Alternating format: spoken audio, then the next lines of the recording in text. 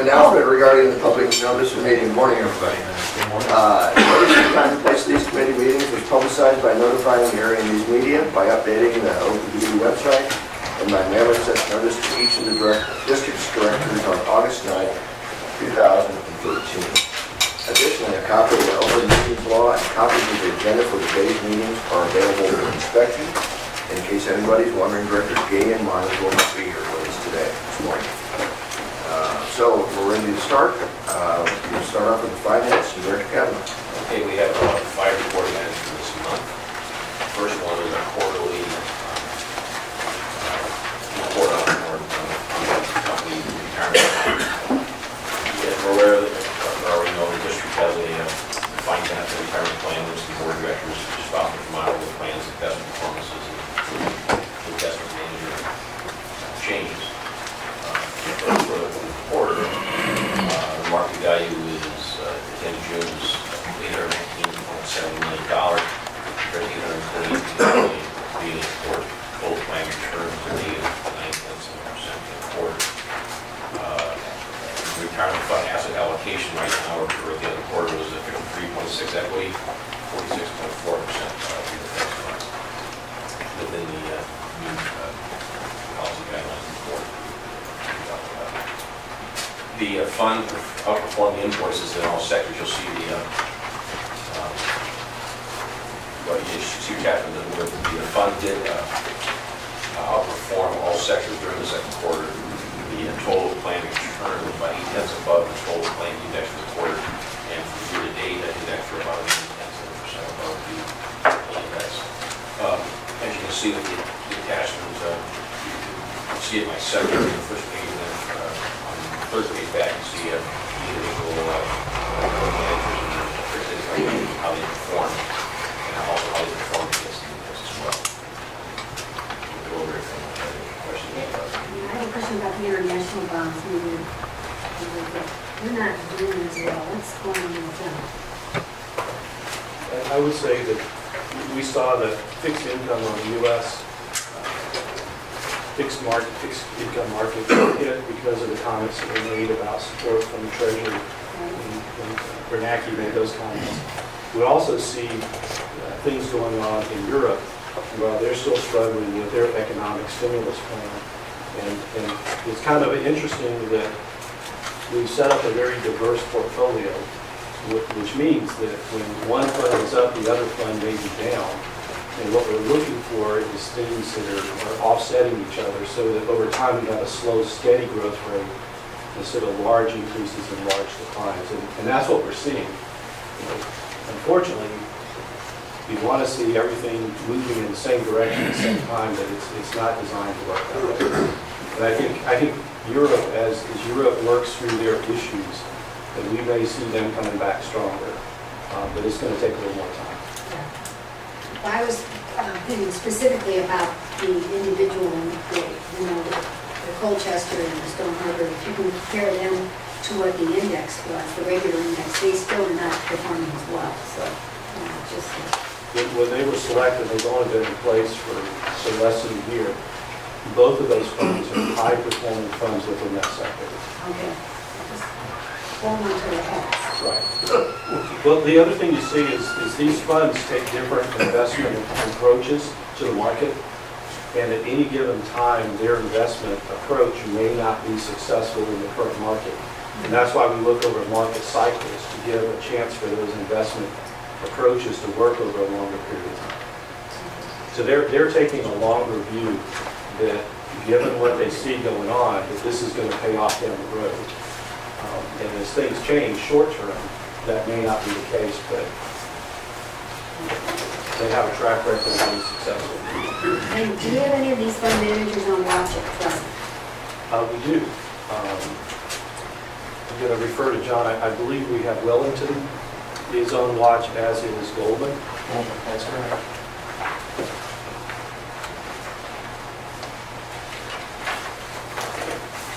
The Goldman's going to Goldman and Wellman are both doing very well. They- They they have in the current period, they haven't over the last three to five years. Right, yeah. Yeah. Instead of fighting back. Right, that, that was my point earlier. Right, is- the long term, yeah. Yeah, Our next item is the legal fee and expense report, for the second quarter of each year. You'll see our, uh, our fees for our general counsel for registrar, and also the fees and expenses for our special counsel law, AG law, which uh, was involved in our recent coal transportation negotiation issues. Uh, Next item is the annual report on the interest rate that uh, we pay our customers. uh, And and this is basically for folks that are on the level playing field. The the interest they would receive on the level. This is what it's. Well- well, it's, it's people who have put deposits down to receive service. Oh, I'm sorry. And, uh, and so, so to, to make sure that if, if there's a credit issue, that if, if bills aren't paid, then we have at least some portion of that bill available to go offset what isn't paid. We, we don't pay interest on if anyone has any type of uh, balance on level. It would be a minuscule amount. There is no interest. No. Well, anyway, this, the, the interest for the, uh, the folks on the, on their, on the customers, on their security deposits uh, for, uh, for this year, it's, uh, gonna be uh, one quarter of a percent. The district says that the rate to be paid on deposits on an annual basis. Um, The interest rate is based upon customers paying, is based on paying the customers ninety percent of the one year's average savings these deposits run to the nearest quarter percent. Obviously, interest rates are very low on state plans right now, and um, uh, the monthly yields fluctuated during the year from a high of about 0.31% uh, to a low of about 0.18%. Using the criteria for the nearest quarter percent, it it is quarter percent. Not a whole lot, but we are paying folks a fair amount on that. Just out of curiosity, I know I've heard this before, but if a customer, typically a new customer, I imagine, puts down a deposit of whatever it is, three, or four hundred dollars or something, do they eventually, if they are religiously paying their bill and do a good job, do they get that back then? Is that how that works? The security deposit? Right, exactly. For a uh, residential customer, uh, they'll get that back within a two-year period of time. Uh-huh. And so if they pay by the bill due date, after two years, they'll get that deposit back. And that's when this With interest would apply? That's correct. And if they would move, say they've been a long-term kind of customer, they would move, there is no deposit on it. Uh, Typically not, if they're moving to, if they've already established that deposit, and they currently don't have a deposit, and they're moving to a new place, we typically don't charge a deposit. And if they move from the city, they get the accrued interest. Uh, They get it at that rate that Edward just talked about. And these funds are segregated? That's true. And then just one, what, what is for a residential homeowner, what is the average security deposit? It, it's probably, what we typically try to do is take the two, two months, uh, two highest months of the year. I think we're trying to do that at a flat rate now, so it's like, uh, uh, $250, $125 a month. So $250 is probably the average residential deposit that we'll do. Certainly for a small apartment complex, maybe a little different, but, uh, that, that would be an average. As a new customer in the last two years, I can attest to that. Very good. Obviously, credit risk, we immediately saw right away. Thank you. California? They're watching. I'd also like to add that I paid the deposit when I, when I joined.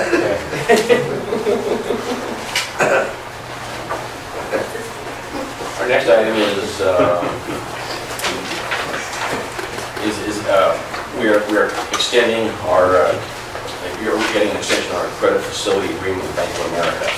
Uh, The district commercial paper uh, program requi- requires us to maintain a credit facility equal to $150 million to support the commercial paper program. The district's current credit facility is in the amount of about $250 million in order to provide an additional $100 million of liquidity for other capital expenses should they, should they arise. Current credit facility agreement with Bank of America provides for periodic extensions based upon negotiated fee levels. The current agreement is scheduled to terminate October 1st of this year. Bank of America has agreed to a two-year extension of the current credit facility agreement uh, effective uh, October 1st. District Financial Advisor Barclays Capital has advised payment of the extension is uh, is prudent and the fees are attractive in today's market. Any questions on this?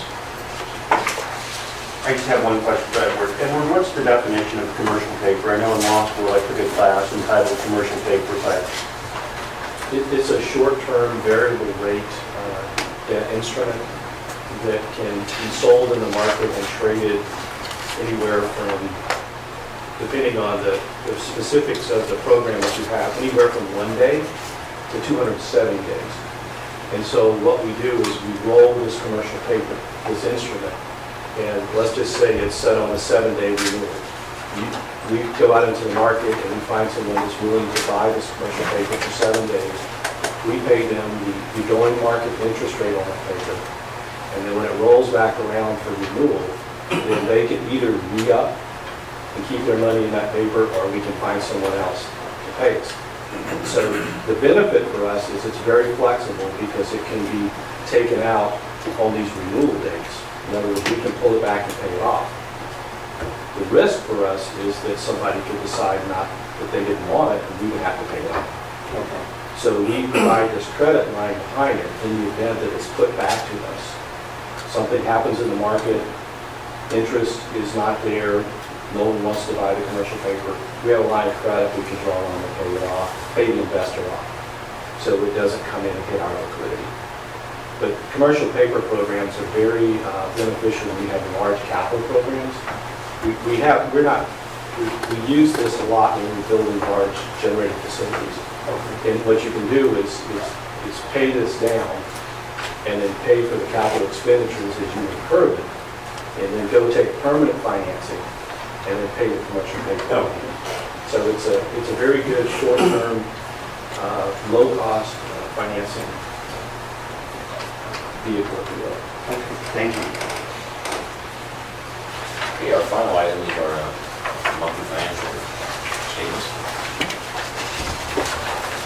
Retail uh, revenue for the month of July was uh, $106.8 million, which is about 9.1%, about 9.1 million or 7.8% of under budget.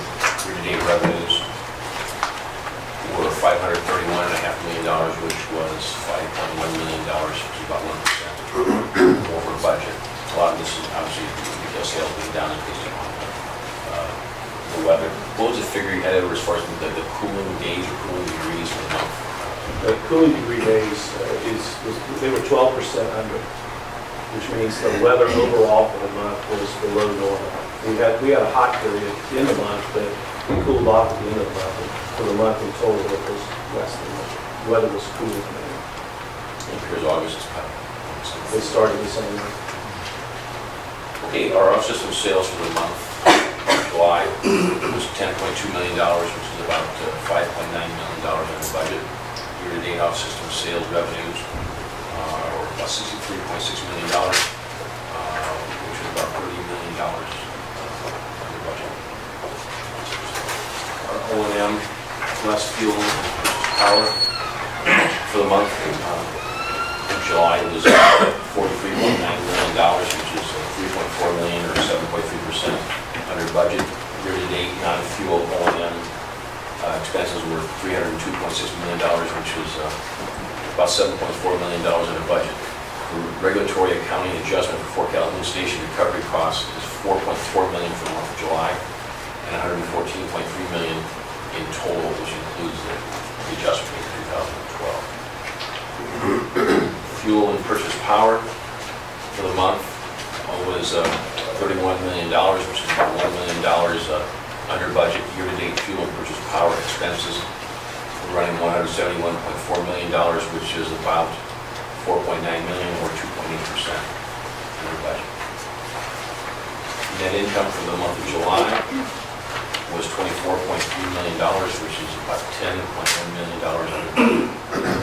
Year-to-date net income uh, running is a, is a, uh, right now is a, a loss of four hundredths of a million dollars, which is about forty thousand dollars, forty thousand dollars, which was uh, about thirteen point six million dollars. Net income, or, uh, sorry, Net income for 2013 budgeted to be $52.2 million. The current 2013 net income projection remains, remains unchanged at that $52.2 million uh, figure. That's based upon the third quarter restart of Fort Calhoun Station. We do not anticipate an additional rate increase in 2013. Capital expenditures for the month were $11.2 million, which is about 2.7 million, or 19.3% under budget. Year-to-date capital expenditures were $100.6 million, which was about $4 million over budget. Our cash balance, in, uh, the unrestricted cash balance at the end of July was $233 million, which was about 4.4 million over budget. Cash balance excludes $15 million in restricted uh, 2 participant funds. If anyone has any questions about our financials? I'm looking to have um, some more update for financials in here. Which was this year, part of the year. It's going to be here in Gordon, Yeah. Uh, here, here. here to report. isn't? I'm assuming under the rough system sales, since these have been down for a couple of years, that that the thirty percent is reflective of how fast that uh, the off, the system sales are dropping. As opposed to, uh, It's availability of power to sell and some pricing variances as we go through. It's not just kilowatts, it's dollars. It's not making as much, not generating as much revenue. And not having the ability to tell how. There's nothing to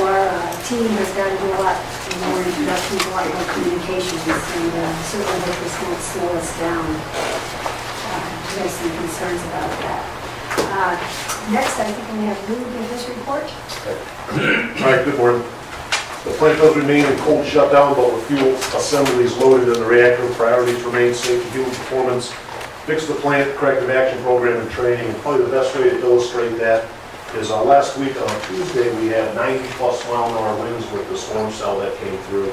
Uh, That does hit the threshold for notification of unusual event, which we did notify uh, both the states and counties and the Nuclear Regulatory Commission. Overall, the plant responded very well, Uh, no safety uniforms issues, no real issues inside the plant. Uh, We did lose power to the outbuildings, that includes our uh, train building as well as our administrative building. Uh, And probably the the biggest impact that happened to be the uh, the day of our biannual uh, graded exercise for the emergency plan. I can't make this up sometimes. Um, And that, so that includes quite a bit of, you know, planning with states, counties, uh, FEMA, it's a joint exercise as well as four additional inspectors. Uh, Well, needless to say, we did not do the exercise that morning in part because the simulator was down for a good chunk of the morning. Uh, But also in part as we were responding to actual event and obviously the safety of the employees um, and recovery from the issues that we did have. But It was a good reinforcer for some of the missile work that we're doing. Um, You know, some, uh, some minor damaged trees and light poles outside, the- outside of the plant proper. Uh, We're working right now with the, uh, with state and counties and FEMA to reschedule our annual exercise. We expect to do that in the December timeframe. Uh, So as I mentioned, uh, we did uh, load the reactor, and I'll talk a little bit more about that in a bit. Uh, We did transition out, out of outage work hours uh, rules with the majority of the staff. That was on last Friday. That was a 60-day window that we leveraged uh, to get quite a bit of work done. Uh, No impact in the short term on, uh, just by virtue of uh, the amount of physical work that remains is primarily in the area of tornado missile protection. And and we're working with the iron workers in particular of of how we do that on on nine-hour workdays with round-the-clock coverage on that critical path work. Um, The the other big issue that we're working through right now is uh, following completion of the, uh, of the fuel reload. The next step in reactor reassembly is placing the upper guide structure, that's some internal components of the reactor. Uh, And we had an issue with uh, the seating of that, uh, really of the tool that surrounds that structure. And it basically goes down uh, over, over two guide pins that are 180 degrees out on the reactor vessel. One guide pin actually is a little bit higher than the other. And we had, uh, basically an outrigger that, that hung up on one of the two pins. and It caused a little bit of damage to that, to that outrigger. So what we've done is we've removed that second outrigger and uh, we get quite a bit of industry help uh, as well as uh, fleet help right now. There are plants that do this uh, evolution with no outriggers. Ours is actually a pretty advanced tool. There's plants that have done it with one, and uh, that's the current situation that we're in right now. So we're working on making sure that that, uh, that that component is level, that the outrigger is level, uh, and through a series of underwater cameras and some laser measurements, we're methodically going through uh, replacing or putting the uh, upper guide structure back in the vessel. We anticipate doing that tomorrow.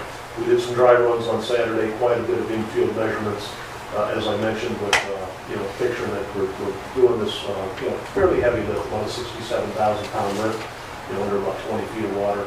And, uh, and just want to make sure obviously that's lined up correctly as it, as it goes into the vessel. Uh, Tornado missile protection modifications continue, that's, uh, that's our long lead item right now.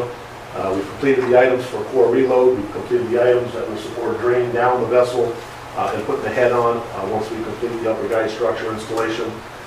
And really, the, the bulk of the other work across all, all of our important safety, important safety pumps is complete, with the exception of one of our raw water pumps, we're finishing that rebuild, finishing that rebuild this week.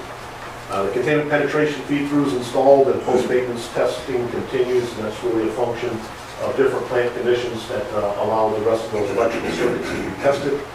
Uh, The containment internal structure project uh, continues uh, with the analysis and operability evaluation that has been approved and is under inspection by the Nuclear Regulatory Commission at this time.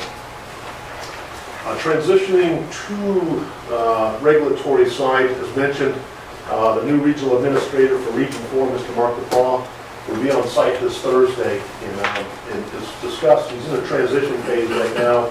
um, And and his intent is to visit all the Region 4 plants, but we'll be number one out in two. Uh, So he'll be on site all day Thursday with our branch chief, uh, very similar to the commissioners uh, that visited. We'll spend the day, a good chunk of the day out in the plant, uh, looking at the physical work, being able to look people in the eye. Uh, That'll include containment tours as well as, uh, you know, the other extensive amount of work that's been done over the last year and a half. And that's really the challenge we discussed this weekend. It's not only the work we're doing now, but just to portray everything that's been done from, you know, manhole work from last year to the diesel generators to the- just the physical work that's been done at the plant. And uh, and so be, that will be our goal in that discussion on on Thursday. Where, where was he previously? Um, At um, uh, NSIR, which is part of the, I'll say the security side, is his most recent assignment. And then uh, prior to that, has spent time in both Region 1 and Region 3 at at senior levels. But uh, NSIR is, I believe, is most recent, uh, most recent. Well, it is good news that he's going to be there at soon. I was just appointed and he's here already, which is good. Yeah, yeah, that's encouraging. We had an opportunity to, uh, to brief the commissioners, all five the commissioners, about a week and a half ago, and I had an opportunity to spend a little bit of time with Mr. LaFawn, as part of that, uh, part of that meeting in Washington DC. Yeah. Uh, With respects to inspections, um, good-sized team in part in June, but 14 inspectors uh, in the early part of July. Uh, We've got a, uh, we've got a debrief scheduled for Friday with really the the messages there is granularity by inspection, checklist item, you know, by inspection basis item, you know, what is, uh, what is the status of each one of those? Um, And if there is ongoing actions or commitments, what do they look like? And, uh, and tied to that, we did docket, um, we did docket our plan for sustained improvement on July 30th. And that's really a vehicle, as we've worked with the inspectors, that, you know, in many cases, we would read, know, here's the pre-restart component, here's the post-restart component. And so that lists our commitments on the post-restart side and affords uh, the inspectors the opportunity to say, yes, understand, have completed here, and see what the path forward is. And so we're expecting a very granular debrief uh, with the inspection lead, the branch chief, uh, on Friday morning. Uh, Exit meeting for license renewal, uh, no significant issues. Actually, um, on August 9th, we entered a period of extended operation, which is a big deal, obviously, for the site and all the preparations for, uh, for license renewal. Uh, No significant issues with the NRC residents bi-quarterly inspection. And we had a small team, one of the things that we've been working through with the inspectors, uh, and tying back to the bus fire, uh, all things bus separation. And so we had some inspectors that came back out from headquarters, uh, in part looking at our NFPA 805 application, which is the new, you know, fire standard that uh, a good majority of the industry has gone to. Uh, And just re-looked at our risk assessment on there in lieu of the event that we had last uh, uh, June of 2011, excuse me, uh, with no significant issues as far as how we've analyzed the risk inside the plant. And uh, as we've, uh, you know, talked about all along, both in the public setting as well as in inspections, you know, the, the design issue that we had with the implementation of the uh, 40 volt bus modification was the root cause, and we have fixed that design issue, uh, and that provides adequate separation for us at that level. Uh, We did work through the, and actually had some discussion in a public meeting about an exigent license amendment request. Uh, And that was in support of the work that we're doing for tornado missile modification, allowed us to adopt the modern guidance. Uh, Probably the biggest thing that we're still working at under that is um, part of the process that the NRC will use um, is to look internally uh, at why an exigent license amendment request. There's a lot of discussion up front, a lot of discussion throughout the process about, uh, you know, the 5059 process as well as um, the operability evaluation process, which we believe we were solidly in both of those places. And so the NRC will work with, uh, work with NEI, and we expect to hear feedback not only in support of Fort Calhoun, but in support of the industry of why uh, the NEI guidance, you know, was not applicable um, for this type of, uh, for this type of situation. Uh, We all really don't want to be in the license amendment request uh, process if we can avoid it. But uh, that did, uh, that did work through about, about a five-day delay from where we originally anticipated to do core reload. Uh, I mentioned the plan for sustained improvement. Uh, One of the things that's tentative right now is uh, we'll be down at the region on August 27th uh, to do, uh, to do a presentation on that plan for sustained improvement with a broader audience of, of Region 4 management, in part again to see what path forward looks like for us. I mentioned the public meeting on the 24th, uh, so I also mentioned we're back to visit all five commissioners a couple of Fridays ago. And who was on that team? That was Mo and. Gary? Yeah, Susan Randall and uh, Keith who's our regulatory vice president from Exelon. And you got to actually go visit all five? All Well, one day. in one day. one day, do you do separately or at one time? Uh, As I mentioned, uh, inspections going forward will be smaller teams that will augment the residents, and uh, like I said, expect to have that level of granularity uh, with the new regulatory commission based on our debrief on Friday. Um, The number of INPO interactions that we've got scheduled, we've got some support this week on configuration management uh, as part of uh, work that we're doing on a license and design basis. Um, We've got the INPO CPO that'll be out in a couple months, and uh, still on track for our accreditation visit. I think that's the highlights. from the And as uh, far as handling all of our outstanding CRs and paperwork, we've got, want to mention that as far as Yeah, good, getting extra people in? good question. As we work through the physical plant, uh, we've also put together, uh, we call it the paper plant outage control center, and that's looking at all things, work orders, and making sure as a piece of equipment come back, that all of the work orders are bundled, the right people are there, so we start a piece of equipment once, once from a retest standpoint. And then on condition reports, the subset of engineering, and even the subset of that design engineering, we've augmented that staff. One to just scrub, which we've done one scrub to say, what's, you know, pre and post restart, but just to make sure there's not either a- an action at a high level or an embedded action underneath that's, uh, that we're missing right now. So that team's been in place for several weeks. Uh, no major discovery items, we gotta get, uh, we gotta get the paperwork closed. and- and- Thank you, appreciate that. To talk about nuclear oversight? Sure. Uh, The independent nuclear oversight continues to inspect, evaluate, and and audit uh, the work at Fort Calhoun. Uh, Lou uh, talked about all the high issues, uh, the high-level issues, and and all the, uh, uh, the uh, the big item work that we're doing. So I'm not going to focus on that. I'm just going to take a couple, maybe a couple minutes and talk about the detailed work that the nuclear oversight is doing, and mainly just to give you a little bit of perspective of, of of what the 20, 22 people are doing in the field every day. Uh, Now, going forward, I probably will not mention all the, you know, the detailed work that we're doing, but, but for now, I thought it's probably a good idea. I think it's a good idea, because a lot of people don't, still are having trouble on what the nuclear oversight committee does, so I think that's. Sure, sure. Uh, As I mentioned, we have about uh, uh, 20 uh, employees out there. They're really watching all the work that's being done every day, including the uh, uh, protection, uh, the LBQ work, uh, any work that the line uh, at Fort Calhoun is doing uh, is being uh, monitored, assessed, evaluated by the nuclear oversight. And, and we are in alignment with all the, the, the work that Lou has mentioned and, and talked about. Uh, So what I'm gonna do, uh, just kind of give you, and again, a little bit of a, of a perspective on the detailed work that we're doing out there.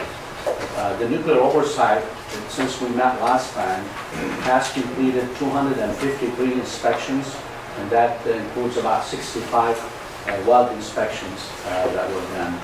Now, some of those, uh, once we do that, we evaluate that, and then we either accept the work that's being done or rejected, or we say that's un- unsatisfactory, and then that work has to be redone. Uh, So some of those, uh, in the weld inspection has been uh, challenging, and we have, uh, uh, you know, out of the 65, there is a, there is a number that uh, came back as uh, unsatisfactory. Uh, We also completed about 20 mod, uh, modification package, Uh, we reviewed those. Uh, We also uh, completed about 41 predictive activities uh, in the field. And uh, the predictive uh, maintenance activities that are done, those are different than the routine maintenance that are being done or the time-based maintenance. Those are basically uh, techniques that are, uh, that would predict the kind of maintenance that we need to do ahead of time. And so uh, those are really important to complete. Uh, I'm going to mention just a few areas uh, that are on the top manager concerns of nuclear oversight. And uh, we've got about eight of them, but I'm going to mention only a couple, and mainly because most of those have been addressed, uh, and uh, we're kind of monitoring the, the uh, response and also the progress. So I kind of view out of those eight, six of them are really, uh, uh, we're making a lot of progress on them, and the response that we're seeing from the line and the leadership at Fort Calhoun is very good. So I'm just going to mention two of those. In, One of them would be the weld process control that we have in place. Uh, We do believe that we're seeing a lot, a lot of what we call, and Lou could jump in uh, uh, if you can clarify that uh, also. What we're seeing is, is what they call arc, strikes, and that's, you know, I'm not an expert on that, but that's uh, during the visual examination of the welds in, in accordance with the Fort Calhoun Station Visual Weld Examination criteria. Uh, arc strikes are not acceptable, and those welds will have to be done. And from what I understand, basically, when we're doing, when they're doing the the welding, uh, the, the arc is struck, but the, the spot is not welded, and that's due to maybe it's overheated beyond the specifications. So that's an area that we pay a lot of attention to, and again, I'm not gonna, you know, in the future, talk about all the details, but, but I do want you to get uh, a little bit better appreciation of what's going on out in the field. Uh, So that's an area we're, we're concerned about, we're communicating to uh, line management, uh, and uh, things are improving. The other area I want to talk about a little bit is the the need for quality assurance record control to improve. Uh, And and again, that's an area that I think, yeah, uh, that we're making progress, and we have a, we have teams in place, and I think uh, with the transition to the Exelon model, that's really being resolved, and and we're seeing a lot of progress. But the, the reason this is really important be- for two things, you know, Uh, first, uh, you- you're having to do rework. Uh, If you're not documenting everything as a quality assurance uh, uh, uh, item, then you're having to redo, re- redo the work, and that takes a lot It's of not time. written down, it's not done. Right, So right. Yeah, yeah, Which is that's- probably where we've gotten in trouble previously, by not having added the paperwork.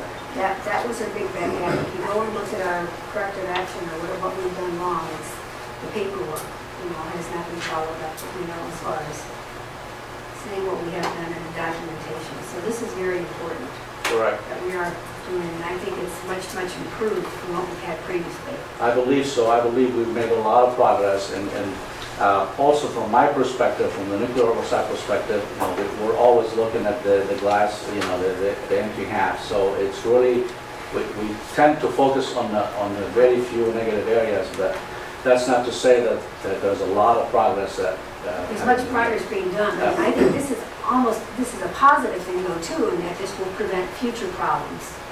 Absolutely. A couple more things I'll, I'll mention, then, uh, then that be it for my report. Uh, The nuclear oversight also elevated two issues.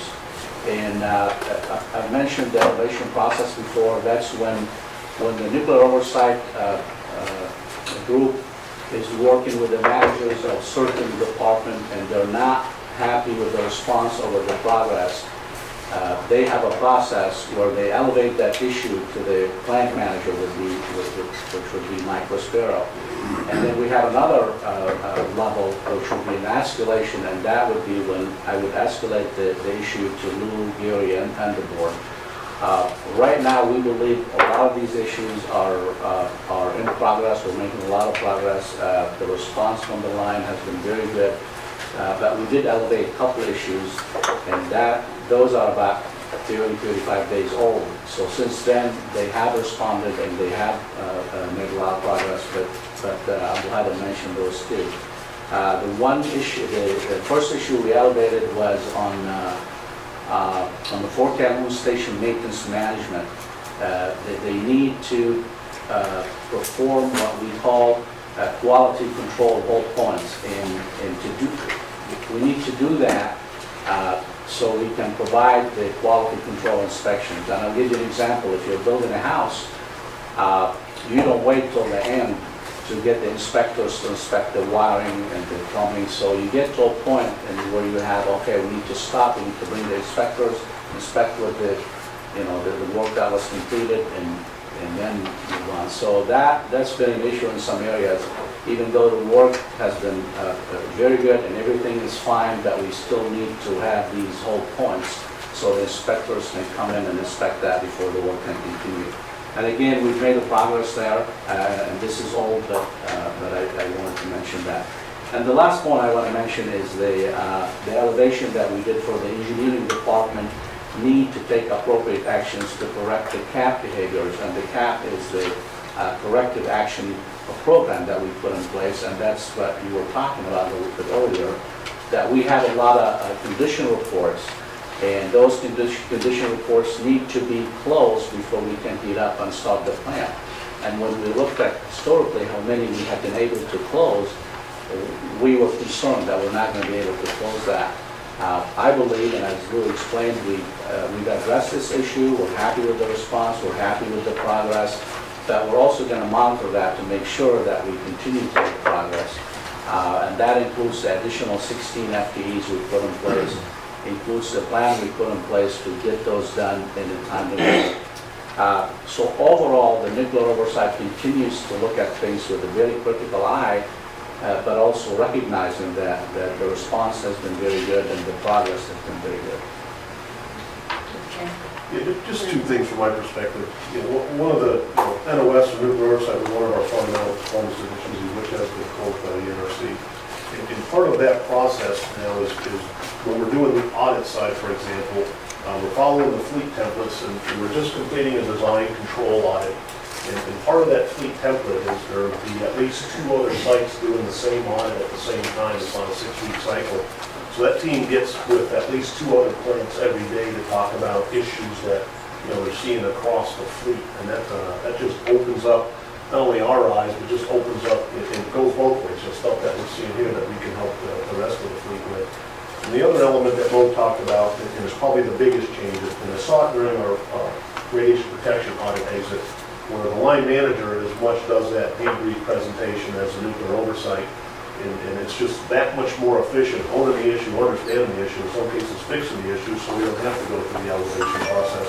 And that's a key part of what we evaluate the manager's effectiveness on, how they use NOS either proactively or when issues are identified, that they don't languish. And, and part of just the efficiency of the process right now is, is we completed two-week audit. You know, for all intents, that draft report's done at the two-week mark. It doesn't, you know, take another two weeks, it doesn't go off in, in cap space. You know, the manager has a plot that, uh, that they can, one, they've already done a considerable amount of work on, but it's a, like a product that just lets us go fix stuff and move on. Yeah, and to add to what Lou said, uh, a good example of how the line is using nuclear oversight uh, proactively is the uh, electrical penetration uh, placement that we did.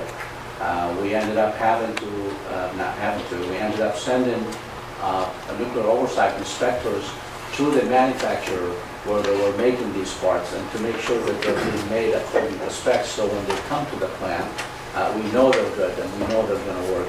So that's another example how the nuclear oversight is working with the line in a proactive way uh, to make sure that it's Yeah. done all right. It takes a lot more communication, it seems to me, which is good.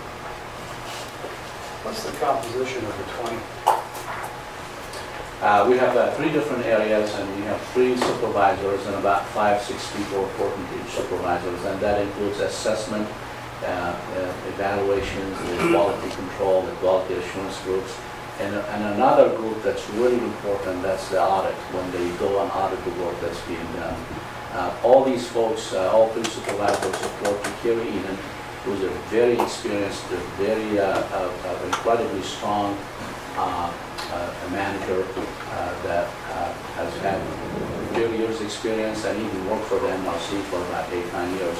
Uh, He's he's, uh, he's incredibly strong and, and, uh, and he reports to me to provide that independence that we were, we were talking about. Typically, the nuclear oversight manager reports to the chief nuclear office- officer, but in, in this instance, uh, we made that change to have that independence, so uh, So our president and the board is getting independent uh, feedback from the nuclear oversight that's not going through Lou. Does not go through there. And then how, and on top of all this, we've got nuclear regulatory inspectors. How, how many inspection teams do we have in the next month? Are we still No, no, we'll continue to see inspectors on a weekly basis, there will be much more smaller, say smaller focus teams. In some cases, uh, like energy line break, it's a a specific technical expertise that the overseer will bring in. And that will be just augmenting the, um, you know, augmenting the, the- the two residents that are on site, so. On any given week throughout the month of uh, August and September, I expect, you know, somewhere between three to five, maybe, uh, additional inspectors that are closing out the remaining hours. It's uh, funny you mentioned high energy line break, we got, we'll get into my, uh, if there's no more questions for these two gentlemen, I'm going to the board. Who may be doing the high energy line Yeah.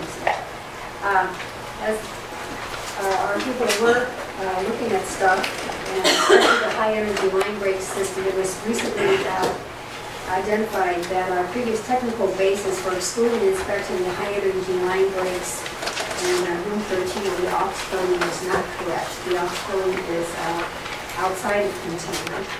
Uh, These uh, lines, and there's a 40-foot piping that uh, is original to the plant, um, and uh, evidently has never been inspected, however, it's never leaked, but it was decided this needs to be uh, inspected. The Problem with this, to be inspected, they have socket welds, and you cannot, a socket weld is when you sort of screw something into it. You can't put in a probe and adequately inspect it. So uh, we're going to have to replace this piping, which is probably good anyway. We're going to need piping and new welds. It's going to be about 40 welds and 40 new piping. Uh, We need to um, authorize, um, we need to negotiate and award this contract with Site Welding Services. Uh, And from again, is this is a limited number of vendors have the capability to provide the specialty welding services and for this pipe replacement, also we have a valve body modification project. It's going to require special field uh, machine, machine and welding capabilities as also radiography to, uh, to check these welds and everything. Uh, In compliance with sealed bidding provisions, uh, for the state statute is impractical and not in public's best interest. So we're asking uh, the board's approval for the, um, of the uh, authorization for management to negotiate and enter into the contract with welding services uh, required for the to modify these in uh, Room 13. So this is something that came up and uh, it was part of our CRs or, uh, and it was decided that we have to get this done. Again, most, every, every stone is going to be turned here and uh, for safety reasons, uh, this needs to be done. You want to add anything to Yeah, that? it's safety as well, because it's, it's just fundamentals of compliance, you know, the, Yeah, compliance. from original construction that, um, you know, this fell out of our in-service inspection program, so we hit it from two angles as we're looking at our in-service inspection program as well as our high energy main break. Um, We got to put the pipe in compliance so that we can not only um, inspect it now, but it'll be on a periodic, I believe, ten-year inspection. uh, We'll look at it a couple more times. Okay, Any any other questions? And that concludes my report. Open information, Director Barrett. Uh, Thank you, Chairman. Uh, We have one board item. Uh, We have uh, to approve uh, a change to the 2013 OPPD Board of Directors meeting schedule. Uh, Specifically, this is a change from uh, the date set uh, previously of September 12th and move the the meeting date to September 19th. And the reason behind this was, uh, in talking with Tim Burke, is that there's going to be a meeting in Omaha. Uh, It's with presidents and CEOs of the nuclear insurance. organization, NEIL, oh, with the, with the NEIL organization. So there was a conflict there, and so uh, uh, the best path is to uh, move the meeting a week ahead to the 19th.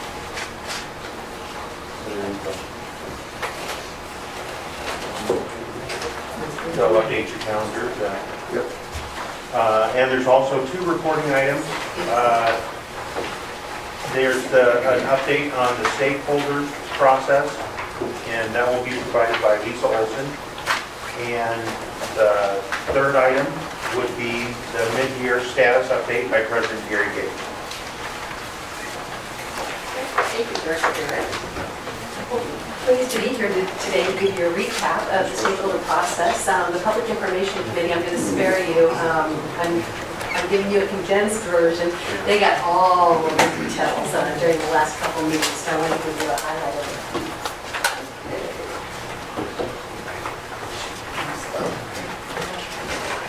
Okay. As you know, this has been a uh, long process, a very thorough process, and we're really pleased with the outcome um, in that regard. In between the workshops, the open houses, and the online meetings, we had over 300 um, customers participate, which we were really happy about. And then in addition to that, uh, we had 780 people um, uh, having comments, visiting the websites. In fact, there were over 672 people that uh, went to oppd.com um, to check out um, what we were doing on- in that regard.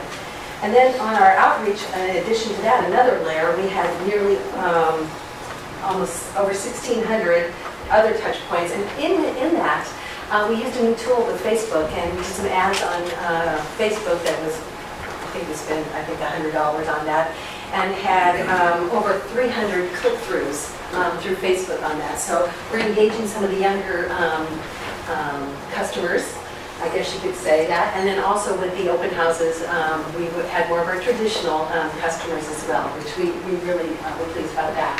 Then the last component of it is our natural OPPD connections, the things that we do um, naturally through our marketing efforts. Board meetings, our outlets, um, which uh, some of the people uh, brought with them, you know, They, they love this publication, they brought it with them. So we had um, inserted that in every bill, so that went over, out out to over um, 700 customers, um, I guess twice.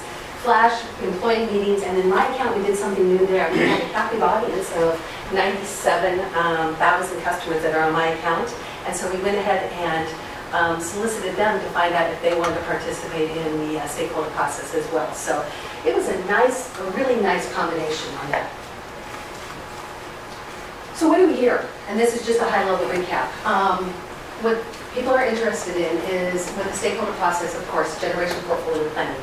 No surprise there. Product rebate and incentive planning. Um, They want to be part of that, to the things that we're going to be offering, and I'm very excited about that um, with our team, with the products and services. Community programs, and it was interesting on some of the things that we heard, rural versus urban. And that's going to help us target really what's important to our customers in both of those uh, major audiences. And then rate changes and updates, no, no surprise there. Preferred communication options, text messaging, okay? Um, They also want email, newsletter, and communications, and then they talk about um, board meeting enhancements, streaming video, rules of engagements, and so forth. And remember, when we talked through this, this was both internal um, interviews as well as external interviews. And then targeted communications, rural versus um, urban audiences. Right now, like in outlets, we offer um, incentives um, that may be for HVAC. Well, it's pretty much in the metropolitan area, so how can we reach out to some of the smaller communities and engage some of um, the the businesses in those particular areas? So the team's going to be looking at that. So, nothing new. Um, This is something that was developed um, during the workshops. And then what we did was, during the open houses, we socialized it, and, and as well as the online portions of it. So what we said was, we're always going to plan, we're always going to act, and we're always going to measure. What's going to change depending on the item that we, we put through the filter is the depth and breadth. And we'll talk a little bit more about that. I've got two examples always, what the outcome is going to be, what's the information that's fair and equitable for all of our customers, and then we'll provide that to you as board of directors to make your decision when you're voting on various issues. So let's talk about an example, a small initiative, okay?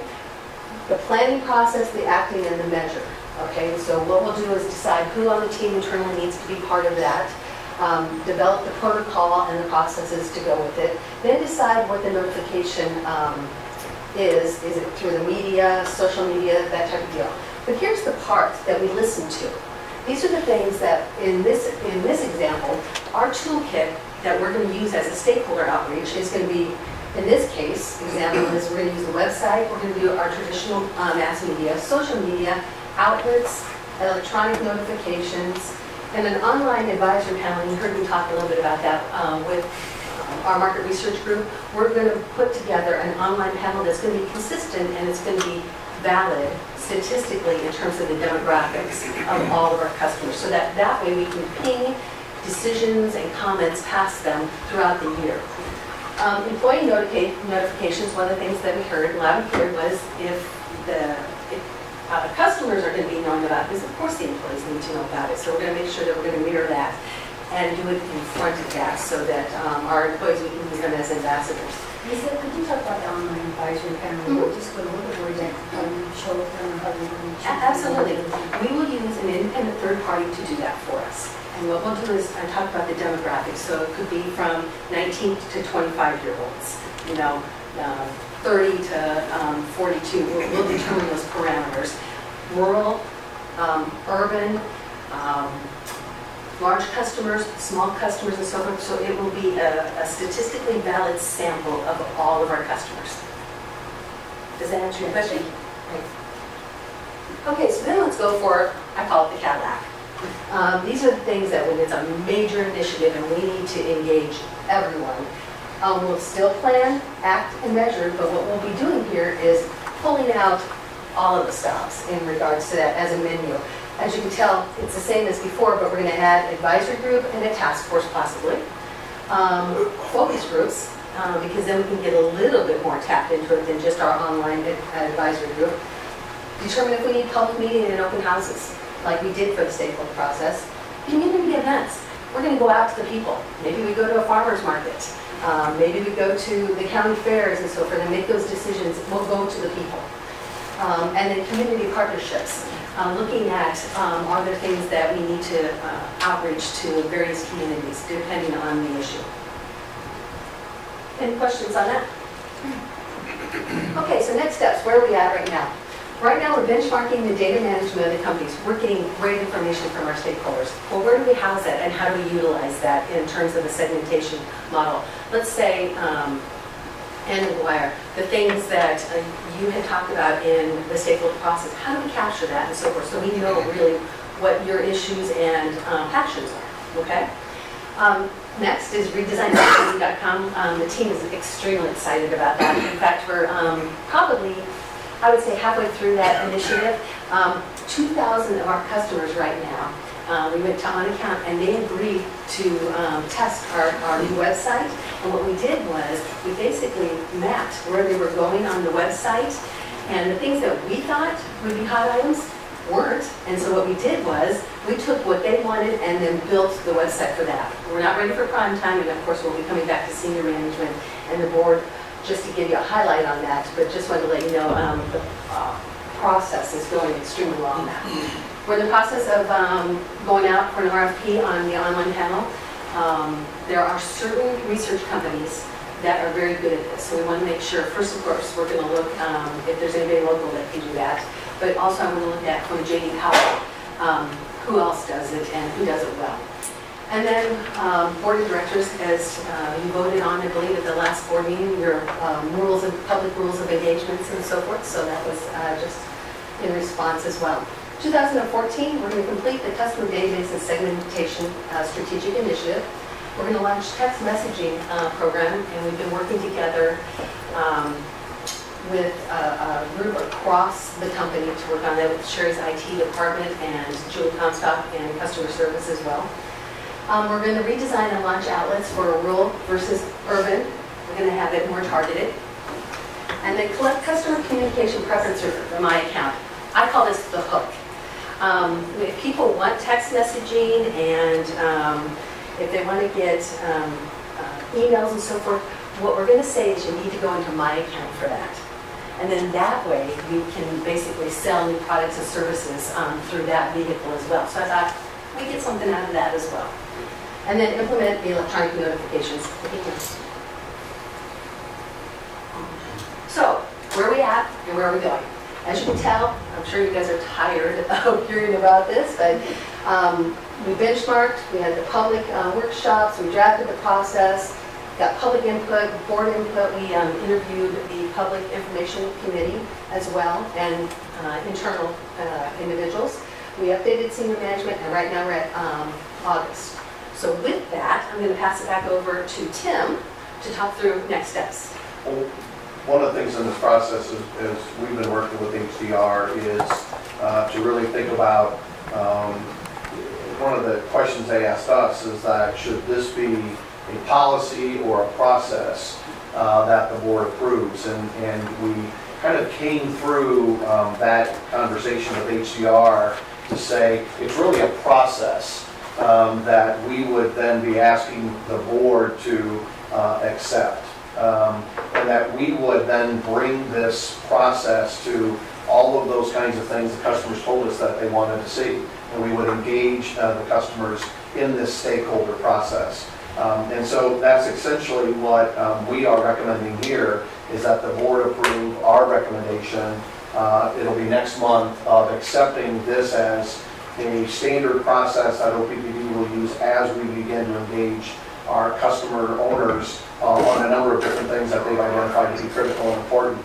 Um, And so the management commitment to this would be we implement uh, the appropriate process uh, based on the project or the initiative. We would kind of evaluate that each time we identify a project.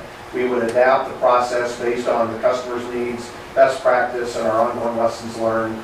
We'd inform the board of the results on the process um, for them to use, or you to use, uh, in that decision-making process based on that customer feedback. Um, And then you could use that in, if, if a board is moving to a decision, you would have that information to be able to utilize in, in your decision-making um, on, on behalf of the organization. So that was kind of the um, part that we ended up moving to with, uh, with, uh, along with HDR. Different companies have done it different ways. We thought this provided the best flexibility, but also gave us really the commitment to execute that stakeholder process for the future. So when we do the, uh, talk about generation or something like that, the integrated resource plan, when that finally is decided or whatever, then we use this process. Uh, I- We have, we have one that Lisa and I just talked about, and I said, no, we probably don't need to talk about it, but I'm going to talk about it. Um, The Bank of the West has decided to move out of the building where we actually lease from them in, in North Omaha.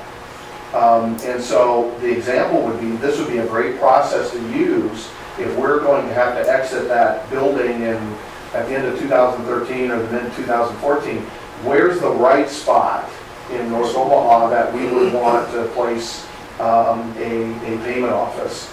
Uh, And so we would engage that part of the community, like we did in South Omaha, by the way, when our lease was up uh, on uh, 36th and and L Street. Uh, We went to a variety of the community leaders, got them together and said, you know, where should we, our lease is up, is this a good spot?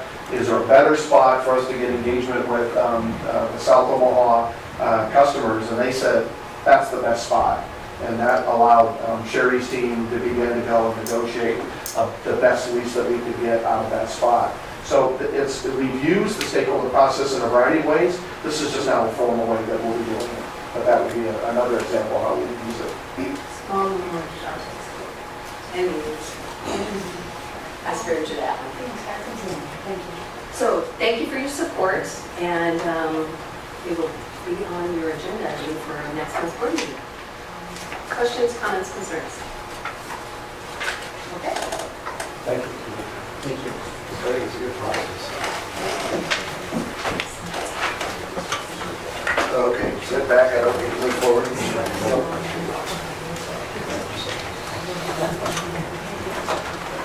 Yeah. Thank you, Director Barrett. Uh, I'm going to do a video update. Uh, This is the first time we've done this. Um, To kind of summarize where we are in the first six months of the year. Many of the, well, essentially all the information that um, has been presented at one time or another, but I think it's good to see it in perspective of all the work that's been done by the men and women at OPPD uh, over the first six months of this year. It certainly had its challenges, uh, certainly had a lot of successes and some continued challenges that we're going to continue to focus on. For the items that we've had detailed reports on, um, at this board meeting in particular, I won't dwell on them. Uh, We'll move quickly through those, uh, it'll be a summary.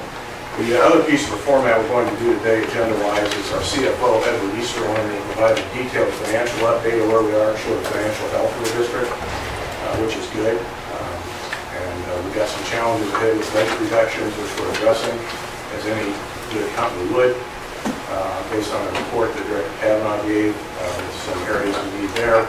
But I think overall, you'll see a picture of a company that's in good shape, uh, doing a lot of things, we're engaging on a lot of different levels, certainly have a lot of interesting uh, areas to work in.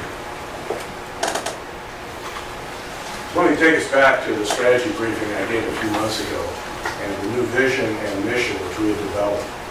The vision being a fully engaged organization that achieves competitive rates while maintaining financial stability with high satisfaction. That's the customer piece.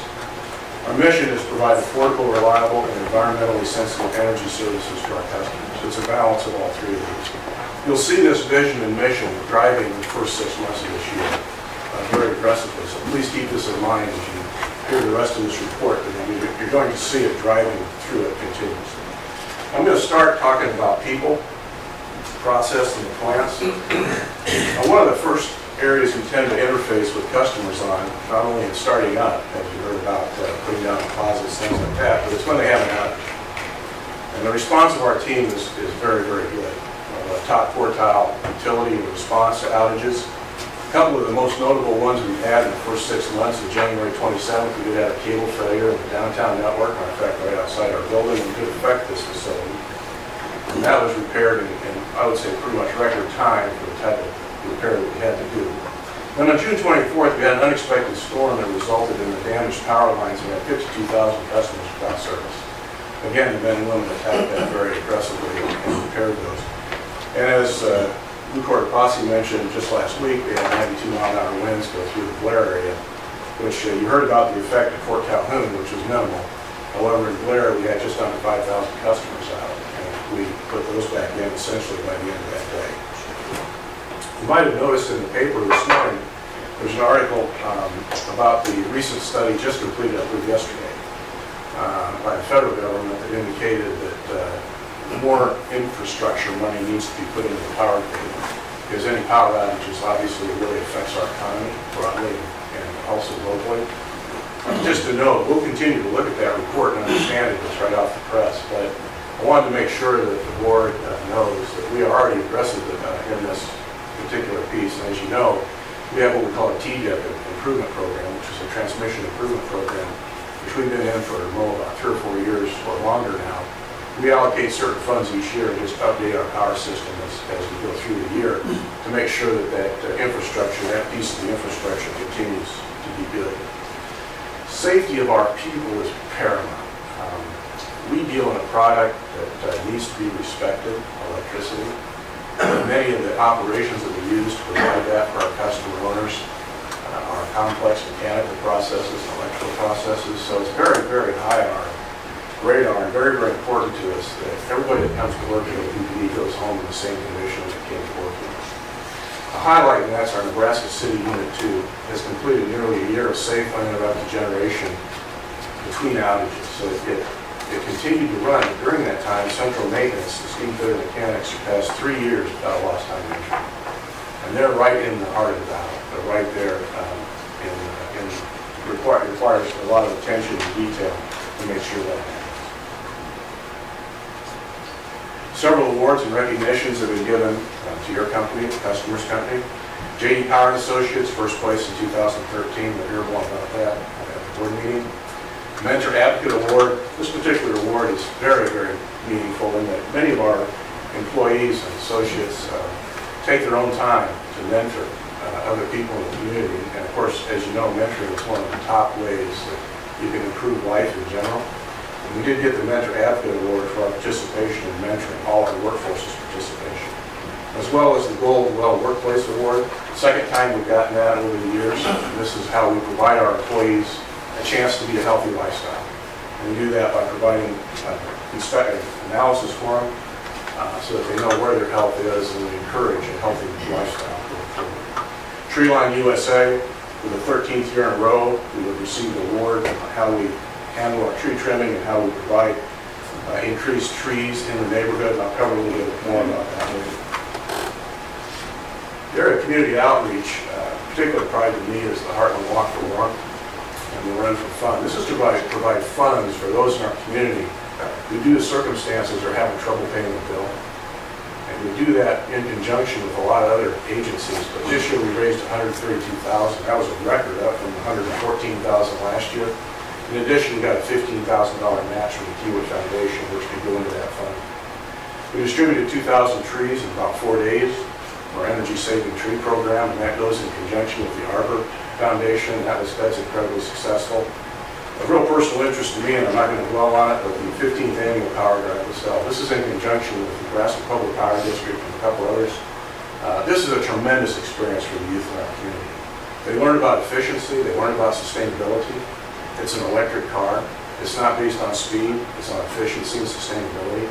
And the participation continues to grow. And as a result of this, uh, and the funds we raise, we give out $2,000 scholarships. We've been doing this uh, for 15 years, and we're having alumni now return that have gone through perhaps an engineering program, through college, and they're returning now to watch this event. And their actual good statements and testimony of what this brought them and brought the curiosity. We also interface a lot with local high schools, so we just hosted 30 students at Fort Calhoun, give them a feeling of science and engineering and what their potential future could be. That went very well. Customer care is the top of our list. It's the whole part of our vision on high satisfaction. We replaced our current uh, calling system with a voice over internet protocol, VoIP, maybe you've heard of that.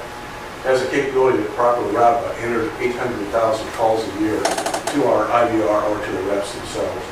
It does improve performance and reporting capabilities, ability to route calls, It's so important to us when we get outages, so we know where they are, if we've reestablished it going forward. And it really provides a foundation for future improvements, which will even increase our ability to satisfy our customers in the event that they have a problem, outage uh, outage or just a question. Moving to the financial and broadly, and Ed was going to cover in detail the numbers. But we went to the rating agencies as we reported in June, with Director Cavanaugh, treasurer. We met with Moody's Investor Service and Standard and Poor's to provide updates. These are our long-term ratings, double A one with a negative outlook for Moody's. That's primarily due to the extensive, the extended outage. Uh, We did talk to them. Uh, And also Standard and Poor's with a double A stable. Recently, Standard and Poor's reaffirmed our double A stable. These are top ratings. You can't get higher than these ratings with the uh, investment agencies. So We'll continue to work with them, as well as just uh, the normal annual uh, financial statement audit. And, and, you know, sometimes this gets, well, Deloitte and Touche came in, they looked at it, and everything's good on the books. Big deal. Takes a lot of work. And it's really an external look to make sure that we're putting everything in the right bin and we're doing everything fairly. So that is really a note and a source of pride for everyone. You heard about the stakeholder initiative. We're very excited about this.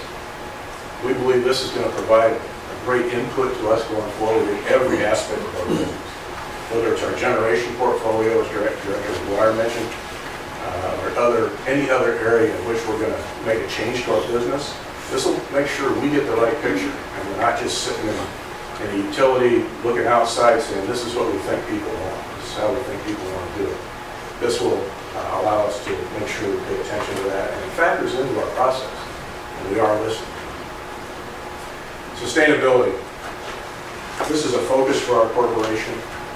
Uh, We, in some people's minds, I'm sure we're not moving as fast as, as uh, would be desired, but we are moving in the direction of a vector, which is increasing in velocity. By 2014, we'll have 15% of energy sales from renewables. That's surpassing our 10% goal that we had set for 2020. Our green power program, 5,600 customers, accounts for about 16,000 megawatt hours a year. We continue to explore electric and hybrid vehicles. We have 37 of them right now in our fleet, including an aerial basket truck. This is a big deal. One of the biggest uses of fossil fuel for us is our idle time. Diesel engine has to idle to get the basket to go up and down. Electric vehicles can avoid that situation.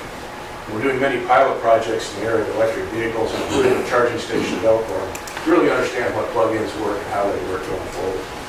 We are continuing to look at our wind uh, sales.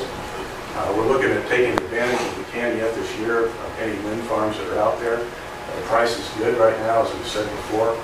We understand that, uh, we'll cover a little later, that some of the incentives, we don't know how long that production tax credit will continue to be we're aggressively looking at increasing that portfolio. We're looking forward to the additional 200 megawatts coming on early in 2014 from our newest wind farm. The air conditioning management program is a success. It installs load control devices on our air conditioners. Our surpass, our goal is to surpass that, on track to have 21,500 participants by year end. And 21,500 units that are capable of shedding almost 32 megawatts, just a little over 32 megawatts of peak during summer load. So that avoids new construction, and that's, it's a a great way to do it. We have gotten about zero, close to zero, um, negative input on, you know, the effect of the temperature in the house, having this AC site. So it's just not affecting our customers physically, but it, it it does a great job. Hey, Gary, just a second on Yeah. that. Tim, you might know, um, you- how many days have you used uh, that air uh. We probably had five or six days, Well, five cycles. five cycles this year. Last year, we, um, I think we're at 10 or 11 out of the, out of 12, so, uh, Yeah, I was a little different weather this year, I just kept pushing, so that's a day left to use it. yeah, we still had some of those uh, hot days that were really hot over the weekend, and they continued through the week, and we used a couple, two days right in a row um, during that time frame. That's been 12, 32 megawatts. Yeah, yeah. Start to add up all the, uh, all the savings we get from our demand side management piece, That's a big number now. Refrigerator recycling, we work with JACO, that's the name of the company that does this for us, to haul away old inefficient uh, fridges, and customers receive thirty-five dollars when we get that. You notice this picture, it's, it's interesting, most of us, if we have a second refrigerator, we put it in the worst possible place, that's our garage. That's where it's hot, and refrigerators need to reject the heat out there, so uh, we're after those old inefficient refrigerators, and uh, we do typically find them in places like this in the garage. We've had great response between 2010 and 2013. 7,590 inefficient fridges have been uh, retired. We've also done that, you got, so you got a refrigerator, what do you do with it? We've got 462 tons of metal, glass, and plastic that have been deferred from area landfills, in other words, recycled. We're not just throwing these refrigerators. Again, this saved uh, over 5 million kilowatt hours of electricity saved in annual funds for the Midwest Transmission Project, we've talked about before, that's a 180 mile line that goes from our Nebraska City Station down into Missouri, into their Sibley Station, where it goes into Kansas City Power Line. About 45 miles of that line will be in Nebraska. Uh, The Nebraska portion of that will be about $65 million. But the advantage of being in the Southwest Power Pool, all those costs will be shared shared by all the utilities in Southwest Power Pool. And that money will come back to the district, and we'll just pay what is a reasonable share of that as we divide up the cost of that transmission project. We're also doing a number of uh, growth supporting projects, and just to summarize them, because we do bring to the board on individual basis substation improvements. You'll hear about a duck line today uh, following our presentation that we're asking approval to go ahead and put in. Those expansions are for, for economic development, primarily in the southwest region right now. We've got the new one at Sarpy County at 27th and Platteview. We've also got one in Richardson County, because that's a high growth area right now with the oil wells that uh, seem to be developing in Richardson County, as well as economic growth. And then, of course, in addition to that, we've upgraded our substations for fidelity, new large customers that's come in, and there's a high power demand. So as you take these individually through the board meetings, kind of put the whole wrap on it, we're putting a lot of money into our uh, substations to provide for economic development. At the same time, uh, we're looking to make sure that uh, these are smart grid capable, uh, which was a question a couple of board meetings ago. As that develops, we'll be able to integrate those. So we're, we're looking forward to what may be possible with building these substations. We had a, a new process, the American Reliability Standards, so we did get an audit from them, had an audit of OPPD on behalf of NERC standards. We did have a lot of areas we were in compliance, we had some areas we need to fill in some gaps and do that uh, going forward, but it was our first experience going through this audit.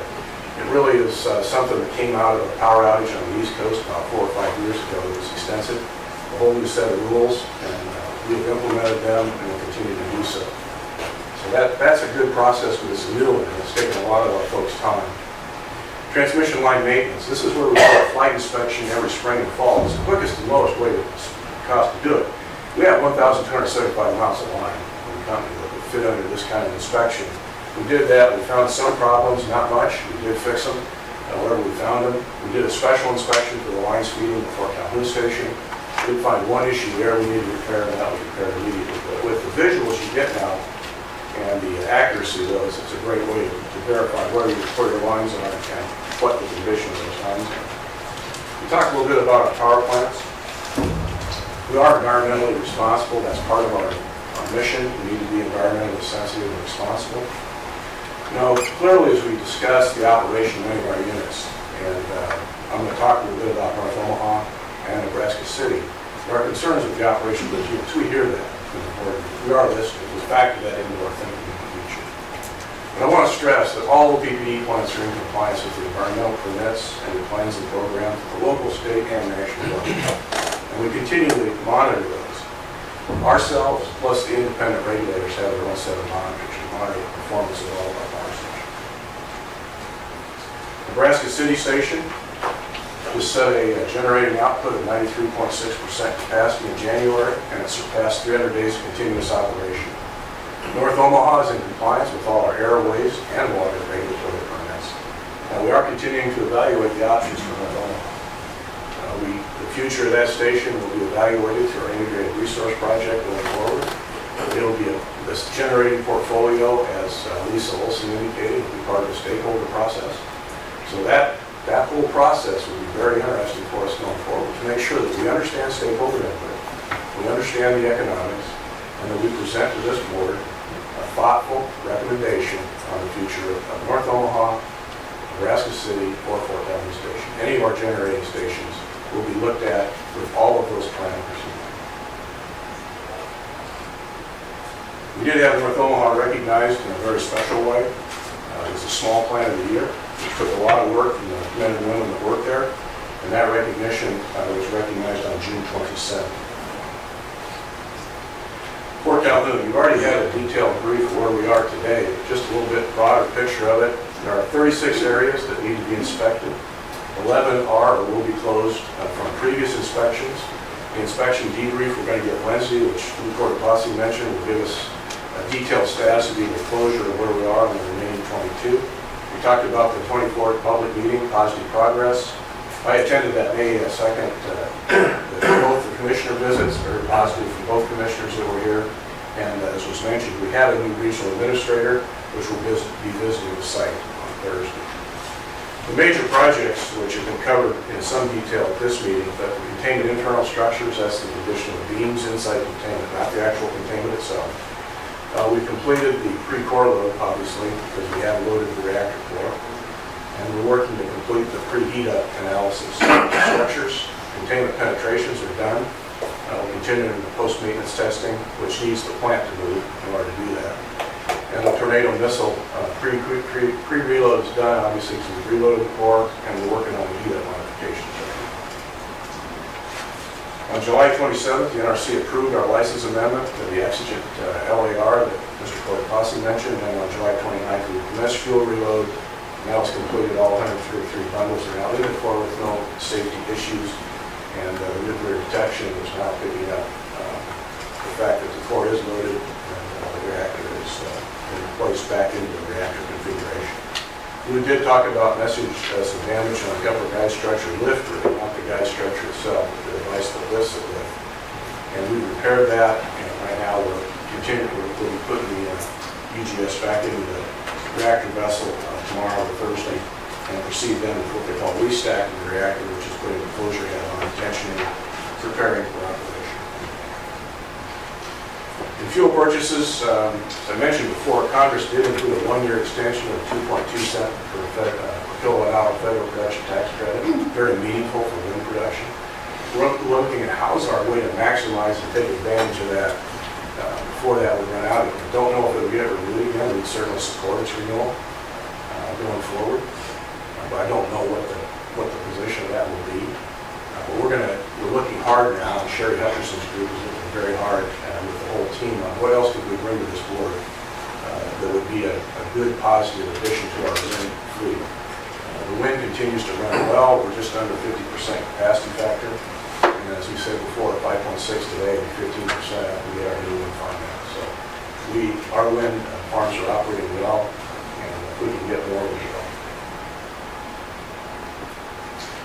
We move now to the financial update, which our CFO will give. This will be high granularity on, on the numbers that you see in Director Cavanaugh's report to, uh, and give you a picture of how we look at the total financial performance of the company.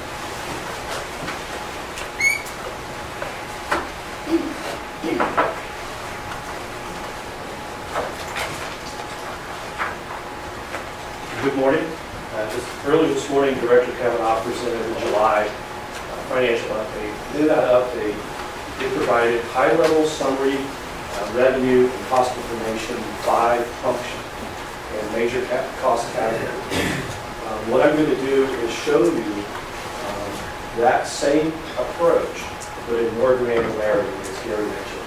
If you look at the single line item amount, you don't see the variances that are occurring under that total to give you the overall product that you see in those graphs that you do every month. The other thing I'll point out that's a little bit different is this presentation includes actuals through June. What Director Cavanaugh presented this morning is through July, so it's going to be a little bit different, this is a little more up to date. But because it's a mid-year report, we stayed with, with June. We have several columns. I'd like to take just a minute and go through the format so that uh, you can follow this as we go through. Um, The first, the first, is, as you can see, is electric revenues, and then there are are four columns.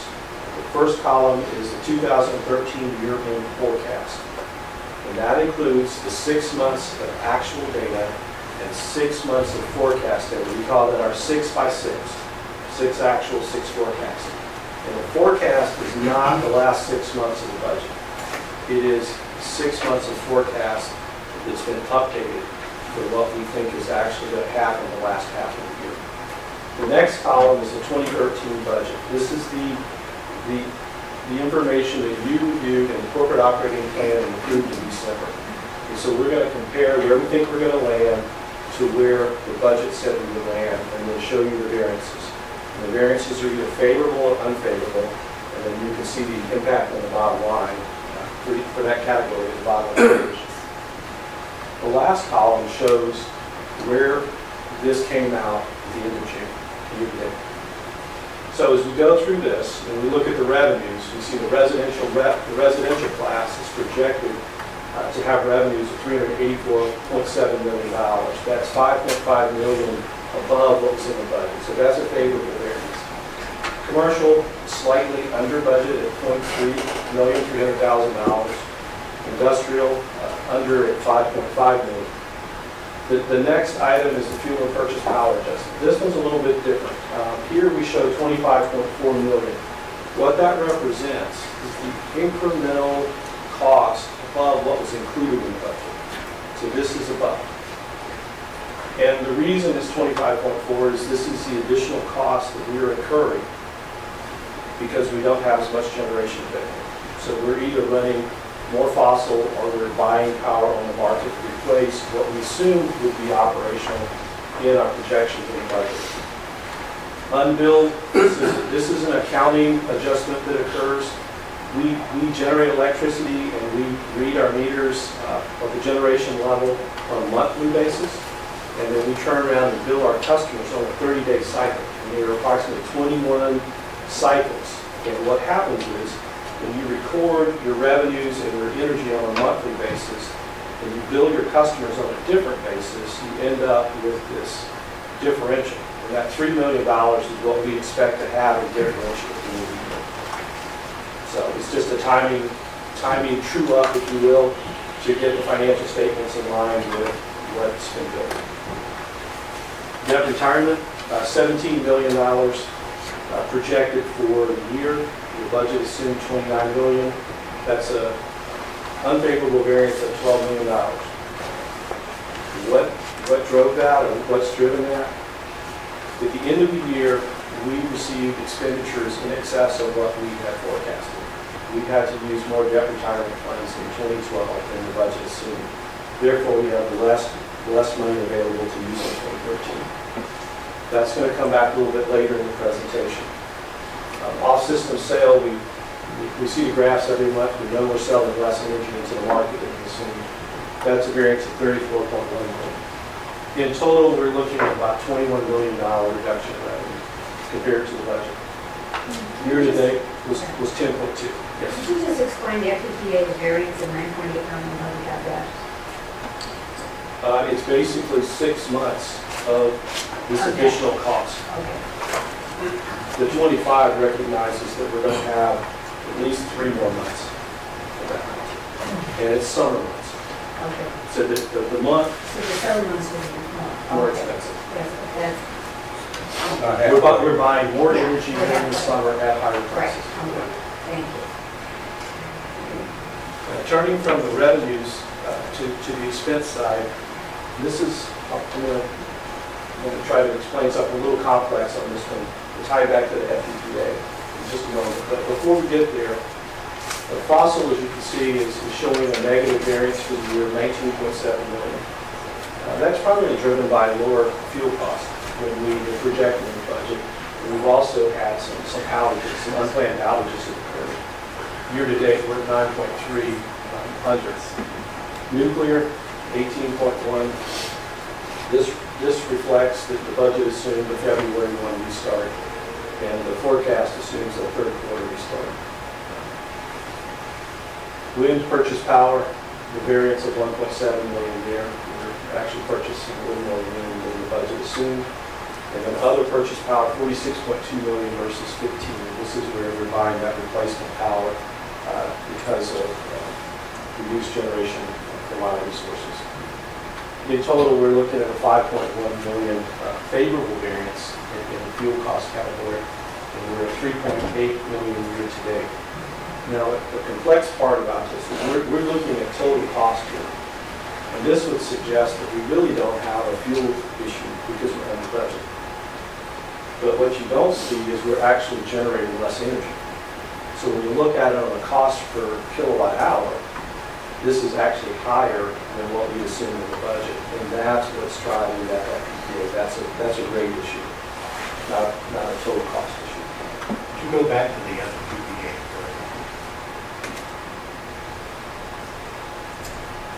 Uh, you were talking about that as an obligation rather than as, as a cost rather than as a a revenue.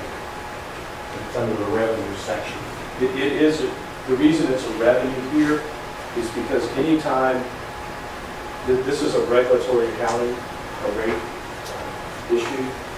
And so what we do is, if we incur a lower cost, excuse me, a higher cost, which we have, under regulatory accounting, we record that higher cost as a receivable to collect from a future FPPA investment.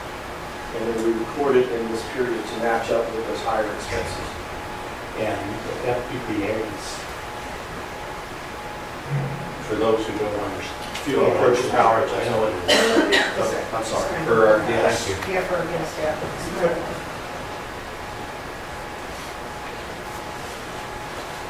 Okay, moving to the next category, non-fuel operations and maintenance. First item, uh, nuclear production, and and these categories follow the FERC uh, charter accounts, and they're functional, they're not business unit related. So this is the nuclear function uh, under those accounts. Uh, The cost is 194 million in the budget, we're projecting to spend 194 million for for zero variance. Year-to-date, we're 1.9 million. You might say, how is that possible with all the activity we have going on at Fort Calhoun? I have another slide coming up after this one, I'll go into more detail so you can see how we get there. On the fossil side, transmission distribution, customer counting, at this point, we're showing that we're going to come in under, excuse me, right on budget. Administration, and- administrative in general is projecting an $11 million favorable variance. In other words, we're going to spend $11 million less than we had in the budget. This is being driven by some, some cost reductions in the benefit area primarily. In total, we're showing 11 million. Now, President Gates mentioned earlier the need to find $11 million. Uh, We're, we're looking for additional reductions, In addition to that one in million. addition to 11 million from all business units, and I'll touch on that in a moment too. So what's going on at, uh, in nuclear operations and maintenance? We have core operations, this is, this represents basically the cost of all the activities that are going on in the O and M category at Fort Calhoun Station, um, with the exception of 0350 or restart recovery. We're projected, projecting a variance of $24.1 million. That's an unfavorable variance, uh, meaning we're spending more than it's in the budget. Year-to-date, we're 16.2 million uh, above that particular category. The next item is restart and recovery. Uh, We're showing a $47.3 million variance there with a year-to-date balance of 17.5. Now, as you recall, um, we we recommended in September and the board approved using regulatory accounting. What that means is we we identify this cost in our O and M category and then we transfer it out into the regulatory deferred asset and then we spread that cost over 10 years. So the cost is shown and then it's it's reversed and taken out and the net effect on O and M is zero. Okay, so tha- that washes out. We then have two other cost categories that come into play. There's a restart and recovery amortization. That is where we take that regulatory asset and we spread it over 10 years, or amortize it over 10 years.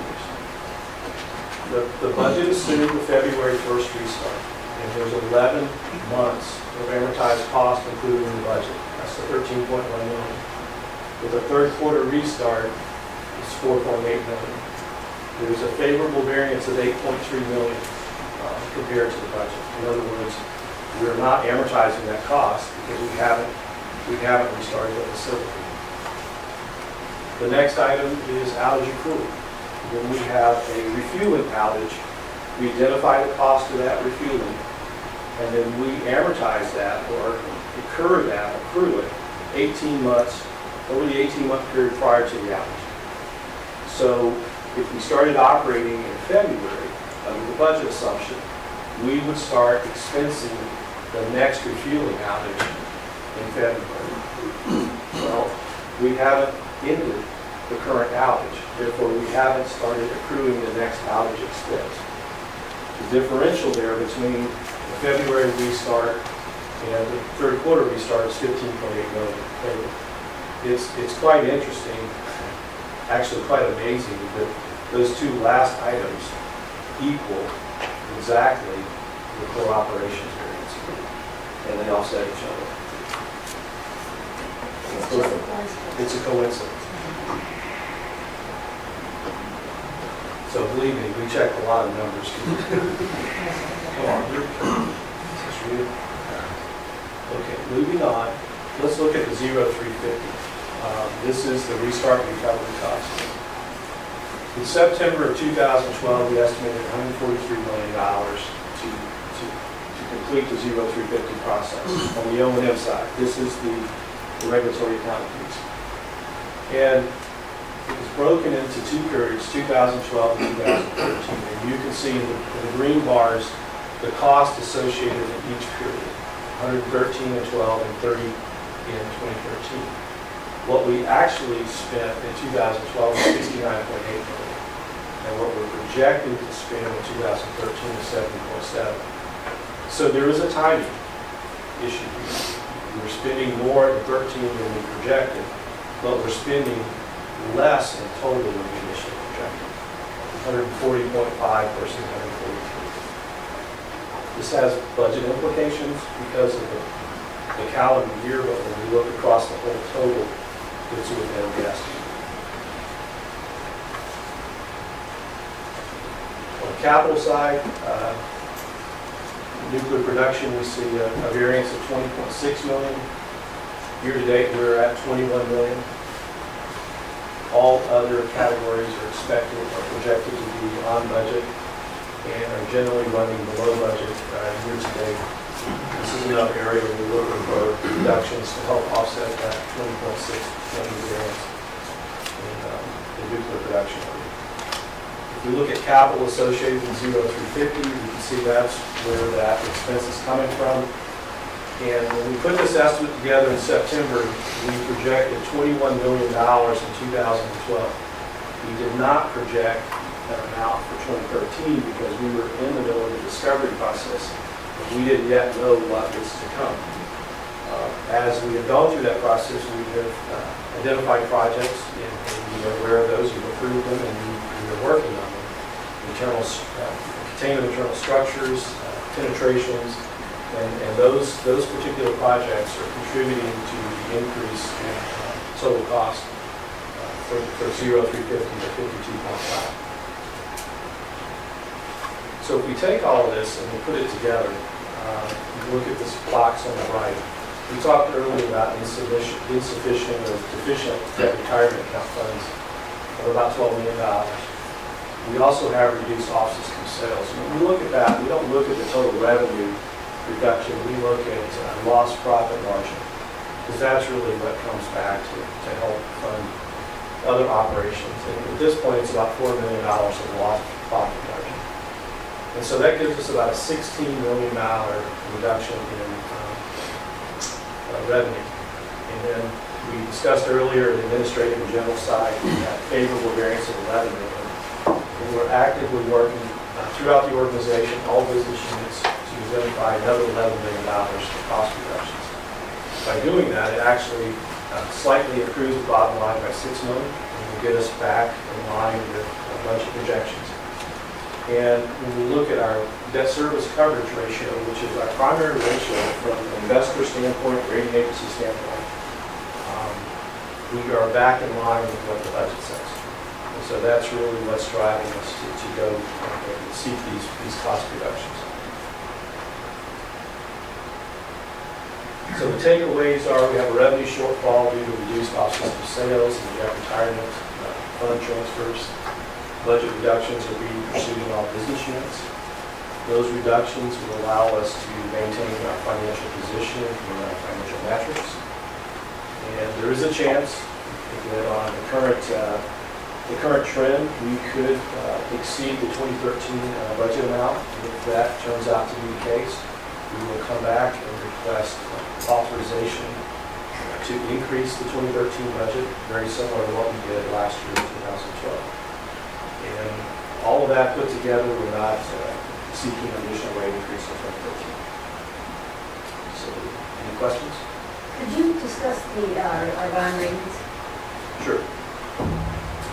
Okay, um, as Gary mentioned earlier, we have met with Moody's and Standard and Poor's.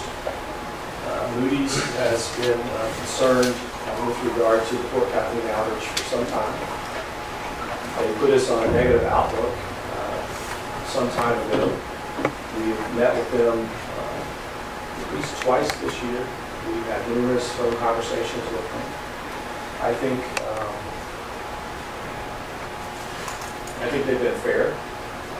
I think the reason they're being uh, diligent as they are is because we have, there's only three utilities in the United, public utilities in the United States that has the same rating we have. It is the highest tier of AA rating.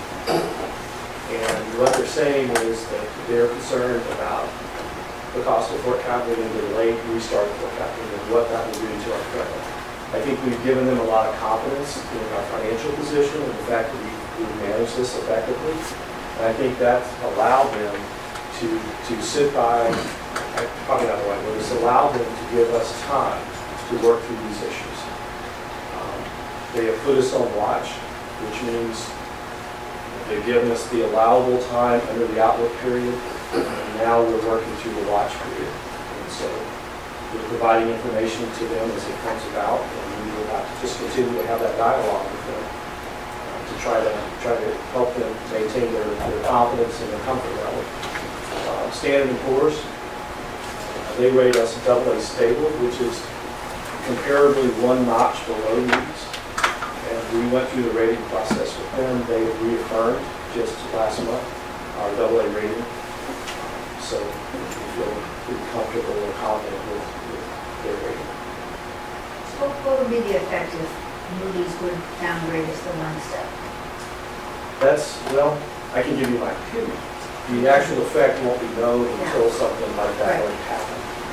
I would say, you know, I'm speculating here, I don't like to speculate, so you're making me, you're making me uncomfortable. I know, sorry. Um, if, let's just say if they downgraded us to a double A two, from a double A one. um, I think the market, we, we, we have a split rating right now. So S and P is a, essentially a double A two, and Moody's is a double A one. So the market is already looking at us, as probably somewhere between a double A two and a double A one, when they price our bonds.